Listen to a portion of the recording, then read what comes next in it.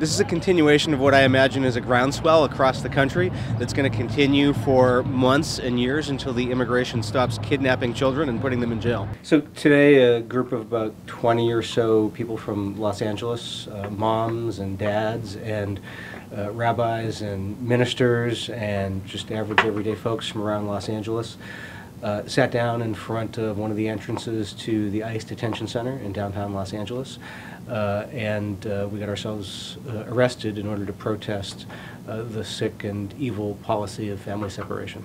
And I think that, that as, a, as Americans, uh, as human beings, as parents, we need to all be standing up. And it's not enough just to, to say this is a bad idea. I think we have to live that this is a bad idea and do all we can to stop it.